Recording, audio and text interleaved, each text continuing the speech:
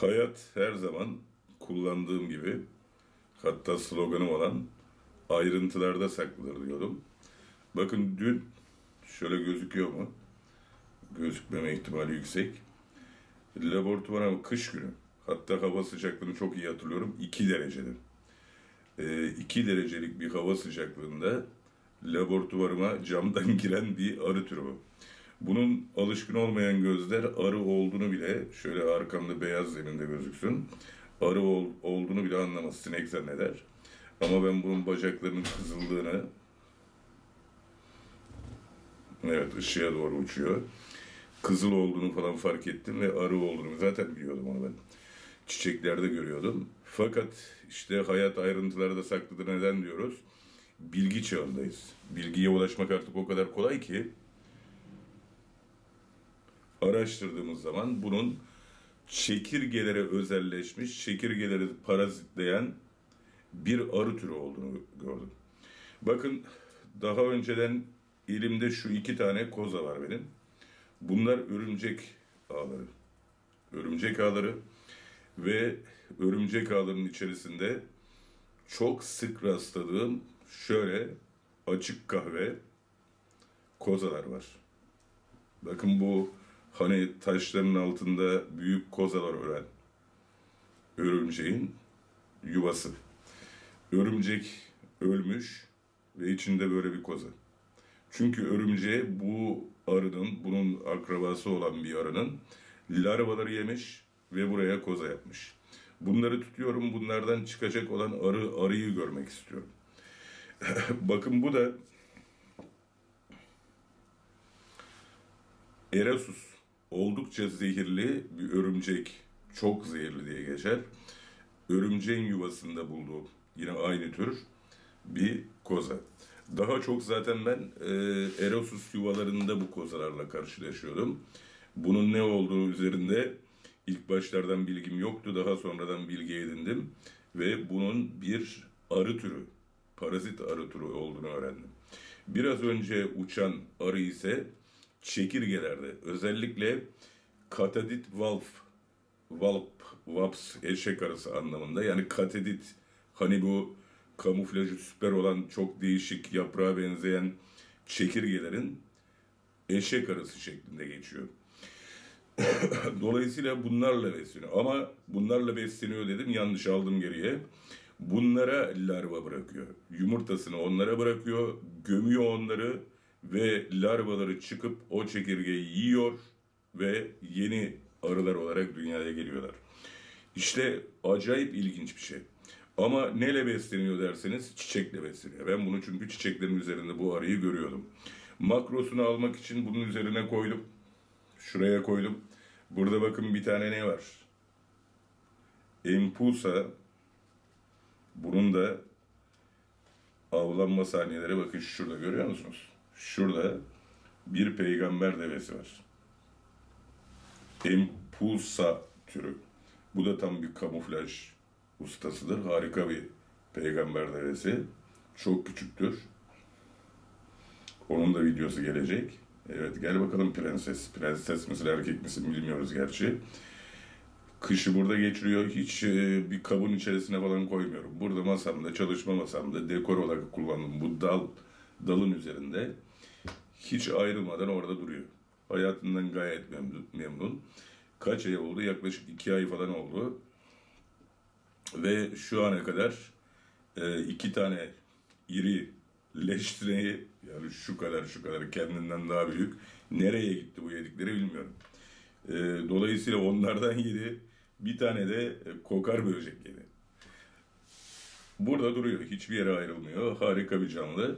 Buraya koydum. Onu gördü. Yaklaştı ama vurdu. Yakalayıp yemedi. Yani bu arıyı bu tanıyor. Bakın çok ilginç bir bilgi.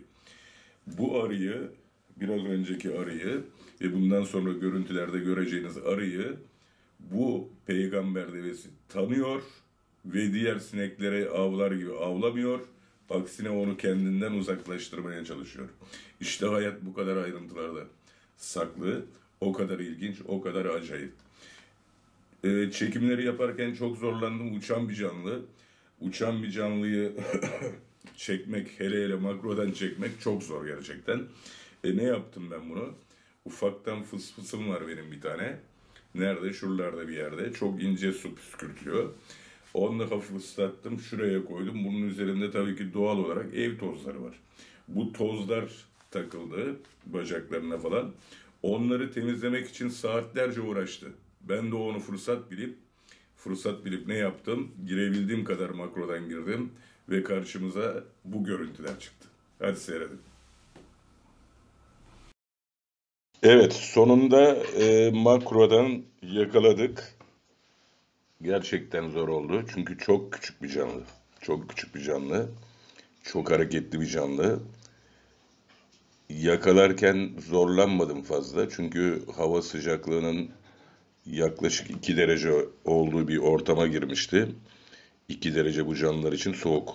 Bu canlının zaten şu anda e, doğada olmaması gerekir. Fakat çıkmış. İşte e, laboratuvarın kapısını açınca içeriye girmiş. Ben bunu görünce zaten tanıdım. Bacaklarının kızılığından bakın doğaya işte ayrıntılara dikkat ederseniz bu böceği çiçeklerin üzerinde görebilirsiniz. Arıyı. Bu arıyı çiçekler üzerinde görebilirsiniz. Çiçekle besleniyor. Bakın birazdan bahsedeceğim bütün özelliklerinden. Bir gece nereden baksanız bir 5-6 saat üzerinde çalıştım. Bunların ben çünkü parazit arılar olduklarını biliyordum. Ama kafamda bir soru işareti vardı. Hem e, kalkıp örümcek, çekirge avlıyorsun hem de çiçeklerden nektar içiyorsun. Bu nasıl oluyor falan diyordum. Bütün bu bilgileri detaylı bir şekilde öğrendim. Evet, polenlerle besleniyor. Yani çiçekleri emiyor. Onların öz suyunu emerek normal arılar gibi, bal arısı gibi beslenmesini o şekilde yapıyor. Dolayısıyla benim şu anda elimde olan şu, e, kışın tam ortasındayız. Yaşama şansı yok çünkü çiçek bulamayacak. He ben ne yapacağım ona? İşte şekerli su falan vererek yaşatabildiğim kadar yaşatacağım. Çünkü aktif olduğu zamanlar bu arıların tam yazın en böyle cafcaflı zamanı. Yani Ağustos ayları falan. Buncaz erkenden çıkmış. Belki de okulun çevresinde inşaat, yoğun inşaat çalışmaları oldu günlerce. Belki yuvası zarar gördü. Ondan çıktı artık bilemiyorum onun neden olduğunu. Evet, bunlara bir bir tür parazit arı. Bunlar değişik canlılarda, değişik canlılarda özelleşiyor. Ne demek o? İşte bir türü kalkıyor sadece örümcek avlıyor. Bu örümcek avlayanlara zaten pepsis arısı diye bunları pepsis arısı diye videosunu falan çektim. Hatta çok özel anlarını da yakaladım. Yani e, bir tanesini çok iyi hatırlıyorum.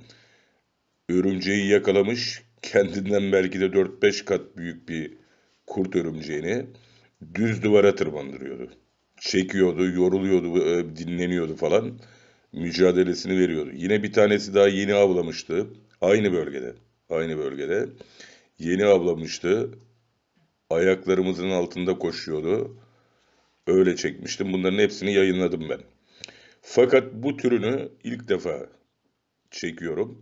Abdomeni dip kısmında kızıl olan falan çektim. Arkasından uzun iğnesi olanını da çektim. Ama bu türü gerçekten ilk defa çekiyorum. Gördüm, çok gördüm ama e, çekimini yapamamıştık. İşte şu anda çekimler, uçan canlıların çekimlerini yapmak gerçekten zor. Burada masamın üstünde bu şu anda. Hafiften ıslak ve bacaklarına dikkat ederseniz bakın tüycükler, ev tozu. Ev tozu yapışmış. Bu arada ne kadar temiz canlılar olduğunu da görebiliyoruz. Hayvan kendini temizlemeye çalışıyor. Bütün canlılarda var bu. Çiyanından peygamber devesine, arısına kadar bütün canlılar kendi öz bakımlarına anormal derecede dikkat ediyorlar. Üstünde hiçbir toz olsun istemiyorlar. İşte bu da bize bu fırsatı, çekim fırsatını bu sayede verdi. Yani kendisini temizlerken Biz de girebildiğimiz kadar girdik. Bakın ayağına takıldı bunu sökemiyor. Bilimsel siteler de buldum. Bilimsel sitelerde araştırma da yapmışlar. İşte e, bunların sadece çekirge türlerine ve cırcır böceklerine özelleştiğini, özelleştiğini görmüşler. Ve bu yüzden bunlara katadit wasp adını vermişler. Yani katadit bir çekirge türü. İşte bu yaprağa benzeyen kamuflajı falan çok iyi olan bu çekirge katadit çekirgesi o çekirgeleri avlıyor ve internette baktığınız zaman gerçekten de bol miktarda o çekirgeyi avlamış işte taşırken videosundan tutun e, şeyine kadar var. Fotoğraflara kadar özellikle bol bol fotoğrafla karşılaşıyorsunuz. Ve bu yüzden katedit wasp yani çekirge eşek arısı veya yaban arısı adını vermişler. İlginçtir gerçekten e, çekirgeyi bir de cırcır böcekleri. Cırcır böceklerini avlıyor. Onların zıplama bacakları bu iri bacakların dibine hatta orada bir fotoğraf çok ilgimi çekti. Yumurtasına kadar bıraktığı yumurtaya kadar çekmişler. E, bacağının dibine yumurtayı bırakmış. Hayvanı zombiye çevirmiş, sokmuş zombiye çevirmiş. Ondan sonra alıyor bir e, deliğe gömüyor. Orada bu e, çıkan larva çürümeyen, ölü değil çünkü baygın, baygın hayvanı yemeye başlıyor. Böylece canlı canlı ye, yenilen çekirge uzun süre canlı kalıyor, böylece çabuk çürümüyor ve larva bunu yiyerek öldürüyor zaten. Ondan sonra da zaten e, işte baharda tekrar yeni bir arı olarak çıkıyor. Bu üreme şekli yani larvalarını larvalarını işte yumurtalarını nereye bırakıyor? Çekirgenin üzerine bırakıyor, cırcır böceğinin üzerine bırakıyor. Ama besinini çiçeklerden alıyor. Böyle bir canlı. Yine yapılan deneylerde görmüşler ki daha çok dişi olan çekirgeleri avlıyor. Dişi olan çekirge veya cırcır böceklerini avlıyor. Bunun nedeni olarak da dişilerin işte yavrulayacağı için daha iri, daha fazla yağ tutuyor vücudunda falan diye erkeklere değil de daha çok dişilere saldırdığı gözüküyor. Çok mantıklı. Neden? Çünkü daha iri, daha, e, daha dolu bir buzdolabı gibi düşünün. Onu tercih ediyor. ne kadar iri, ne kadar fazla besin varsa e, onu avlaması kendi yavrularının daha iyi büyümesi için bir avantaj tabii ki doğal olarak. Çok güzel. Harika bilgiler. Şimdi şöyle bir şey var. Tabii ki çekirgeler falan e, üzülüyor insan. Onu öldürüyor mu öldürüyor vahşice bir şey geliyor ama arkadaşlar ben her zaman şuna dikkat ederim. Bir bölgede çekirge varsa hayat vardır. Çekirgeler çünkü e, çok nadir birkaç türünün dışında otoburdur. Otçuldur. Yani bitkileri yer aşırı derecede e, otçulların çoğalması e, ekosisteme ciddi anlamda zarar verebilir. Hatta çekirge istilaları falan olur. Bunlar ciddi anlamda ekosistemi alt üst eder. Şimdi çekirgenin hem ol, olması çok iyi, diğer canlıların da o bölgede olduğunu anlarım ben. Ve baktığın zaman gerçekten dikkatli baktın, incelediğin zaman doğayı, orada başka canlıların, onu çekirgelere avrayarak yaşayan canlıların da olduğunu görebilirsiniz. Fakat bu besin olarak değil. Sadece e, ne olarak yumurtalarını bırakıp orada yavruların çıkması için kullanıyor. Çekirgeleri dengelemesi, cırcır böceklerini dengelemesi, doğa için dengelemesi çok çok önemli ve yararlı bir özellik bence. Bakın ebatlarına baktığınız zaman aslında bu çok çok büyük değil. Videonun başında benim elimde gördünüz. E, kaç santimdir tahminen? 2, e, 2 santimetre, 3 santimetre civarlarında bir araba. Belirgin benim e, ilk ayırt edici özellik olarak tespit ettim. Bacaklarının e, kızıl oluşu.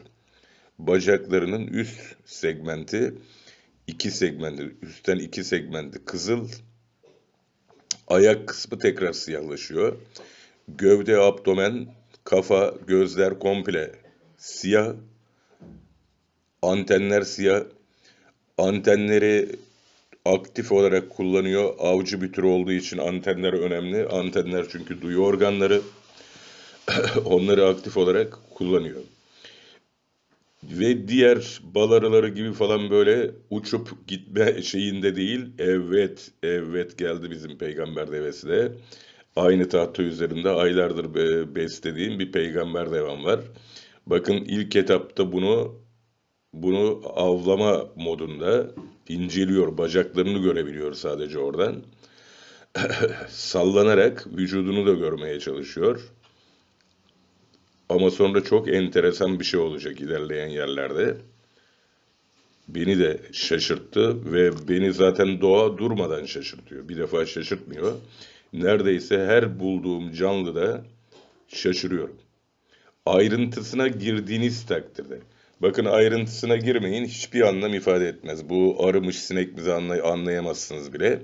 Ki ben elimde bunu arıyı tuttum inceledim fakat çekimlerden sonra abdomeninin çok ince bir boruyla ayrıldığını gördüm. Yani çekimlerin öncesinde evet antenlere dikkat edin bakın. Fark etti peygamber devesini. Arının antenlerine dikkat edin. Antenler ileriye geriye hareket ediyor. Bakın. Bu arada peygamber devimizin videosu da gelecek. Peygamber devimiz Empusa türü bir peygamber devesi. Yunan mitolojisinden almış ismini. Yunan mitolojisinde şekil değiştiren dişi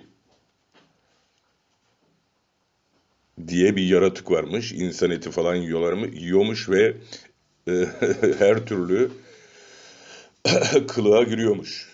Çok güzel bir kadın kılına giriyormuş ve insanları avlıyormuş. İsmini buradan alıyor. Empusa türü bir peygamber devesi. Bunların en büyük özelliği zaten bu boyun kısmının bakın. Abdomen haricindeki gövde kısmının çubuk şeklinde oluşu. Ve ben bunlardan e, daha önce çok gözlemledim. Bunlar bir akşamda kabuk değiştiriyor ve başka bir şekle hiç alakasız bir peygamber devesine dönüşüyor. Bu bir erkek. Erkek olduğunu nereden anlıyoruz? Erkek olduğunu bakın kafasındaki bu çıkıntının yanında iki tane küçük anteni var. Bu antenler erkeklerde oluyor. Ve diğer peygamber develerinden uzun yaşıyorlar.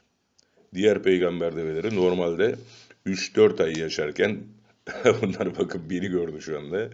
Bunlar daha uzun yaşayabiliyor. Bunlar bir sene işte bendeki de işte kışı geçirecekti. Eğer hava şartlarından e, ölmesi, ölme, ölmezse yaza ergin hale gelecek ve yürüyecekti. Şu anda evde garantide. Zaten bu da farkında hiç kımıldamıyor. İki aydır aynı yerde kazık gibi duruyor. Ben buna getiriyorum arada bir bahçede e, soğuktan donmuş leş sinekleri dolaşırken buluyorum yerde. Onlardan cımbızla veriyorum. Şap kapıyor, yiyor. İki ay içerisinde ne yedi derseniz e, videonun başında da söyledim. İki tane leş sineği bir tane kokar böcek yedi. Bakın buna da yeme maksatlı geldi. Şu anda geçerken bunun bunun yenilmeyecek bir canlı olduğunu fark etti. İşte bu videonun ayrıntısı gizemi burada. Bu arıyı, parazit arıyı yani diğer adıyla çekirge eşek arısı diyelim biz buna.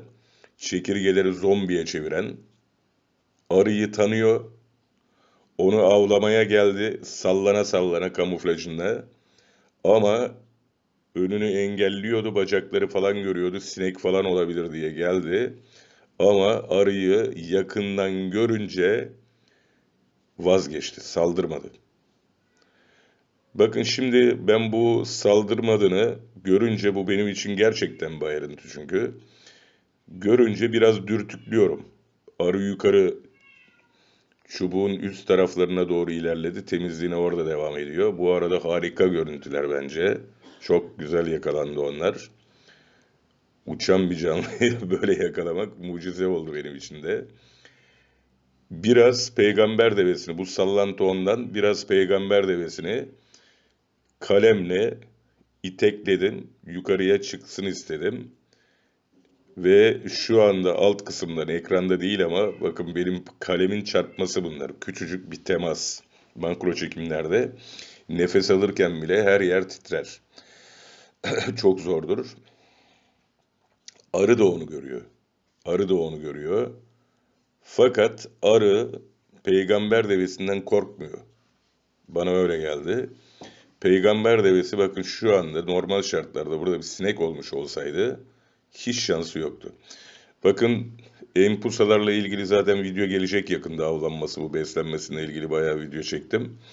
Ee, evet bakın arı arı dönüyor bakın tamamen odaklandı eğildi bakıyor.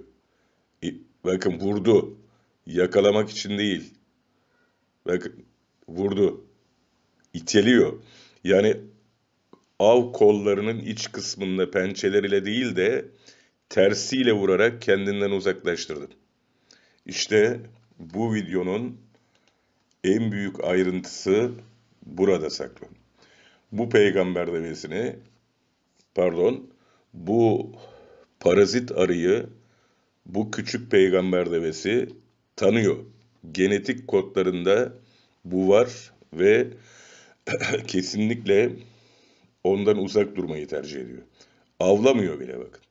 Avlamıyor. Halbuki peygamber develeri ciddi avcılardır. Kendi ebatları yiyebileceği ölçülerde bir canlı olduğu zaman ki bundan çok çok büyük sinekleri, kendinden büyük sinekleri yakalayan bu canlı az önceki tehlikeli olan parazit eşek arasını itekledi. Evet.